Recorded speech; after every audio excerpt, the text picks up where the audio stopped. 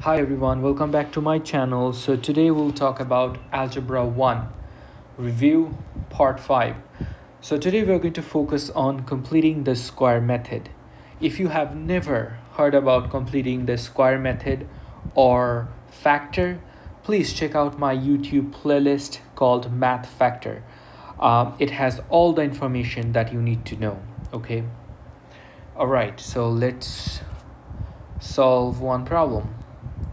So example one says solve by completing the square. You have x square plus 4x minus 7 equal to 0. Okay. So we want to solve this uh, quadratic equation. What does that mean? Uh, it means this, uh, this equation represent a parabola and we are actually looking for the x-intercept, okay, or roots. All right, so the question is how do you solve it? So let's let's talk about the coefficient first. So uh, it's a quadratic equation, so I can write this as ax squared plus bx plus c equal to 0. We need to know our a, b, and c. Our a is equal to 1, y1 because there is no number in front of x squared b will be equal to positive 4 c is going to be equal to negative 7 just be careful with the uh, negative sign. All right so now the question is how do you solve this problem? So let's try. So I have x squared plus 4x minus 7 equal to 0 so the first thing that you want to do is you want to move that c to the other side okay? So i want to get rid of that negative 7 how can i get rid of that negative 7 i'm going to add 7 to both sides so what's going to happen? This two cancel each other out. So we have x square plus 4x equal to 7 all right.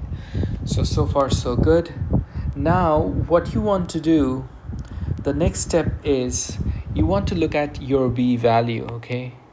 So our b value is equal to 4 so what you want to do with your b value you want to divide by 2 and you want to square it okay? And you want to square it. So that's going to give us 2 uh that's going to give us 2 square that's going to be equal to 4 okay? So this 4 is actually the magic number that we are looking for. So what we want to do with this 4 okay? We want to add this 4 to both sides of this equation okay? So let's do it. X square plus 4x plus 4 um, equal to 7 plus 4 okay? Again how did i get that 4 you look at the b b value you divide by 2 and you square it okay?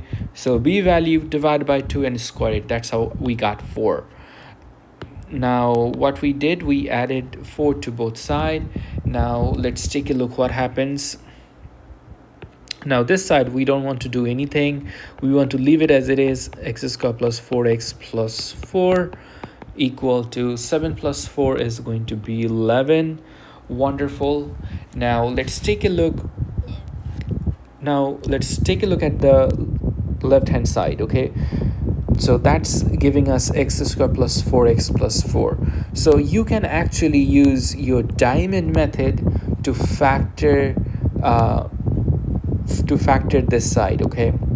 You can use your diamond method to factor this. So let's use the diamond method. So what goes on top? The c value goes on top. The b value goes in the bottom which is also 4 so I need two number. If I multiply I'm going to get 4 but if I add I'm also going to get 4 so what are those two number?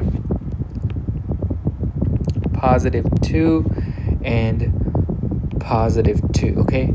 So once we do that we just have to have x. So x plus 2 and x plus 2 will be the answer okay? So now what we want to do okay let me use a different color. So I just applied. So x square plus 4x plus 4 can be written as x plus 2 times x plus 2 this side we have 11 so leave it as it is. Well x plus 2 times x plus 2 can be written as x plus 2 whole square equal to 11 all right so far so good. So we applied the diamond method. We factored it out. Now x plus 2 times x plus 2 can be written as x plus 2 whole square. That's equal to 1 so now um, the question is we want to solve for x right? So we want to get rid of that power 2 how can we get rid of the power um, power 2 we can take a square root of both side okay? So let's take square root of both side. Square root x plus 2 whole square. Square root of 11 one thing be careful here that whenever you take square root um, whenever you take a square root and if you have a situation like this right you should always include plus minus sign. Okay? You should always include plus minus sign. So what do i mean by that? So let's say if i have x square equal to 4 x will always be equal to plus minus square root of 4 okay? You should always include your plus minus sign. Just an example. Just an example okay so don't forget to include your plus minus sign. Extremely extremely important. So the radical sign and the power 2 they cancel each other out. So we have x plus 2 equal to plus minus square root of 11 uh, so we don't need that positive 2 how can we get rid of that positive 2 we can subtract 2 from both side. All right. So this side this 2 cancel each other out. So we have x equal to negative 2 plus minus square root of 11 okay? Again do not add or subtract uh, square root of uh, 11 with negative 2 they are not like terms. So leave them as it is okay? So write x equal to negative 2 plus minus square root of 11 do not write this as plus minus square root of 9 okay? So all right so one last question. So what does it mean? What does negative 2 plus minus square root of 11 mean? It means x is either equal to negative 2 plus sorry negative 2 plus square root of 11 or x equal to negative 2 minus square root of 11 okay? So this is what it means. So we are actually done. Okay so let's review the process one more time it's a lot of work so we want to solve by completing the square method. The first step is find out your A, B, and C value. Then what you want to do, you want to move the C to the other side. Okay. Once you move C to the other side, you're going to look at the B value. You're going to divide by 2 and you're going to square it. Whatever number you find, you're going to add it to the both side. Okay. Plus 4 plus 4.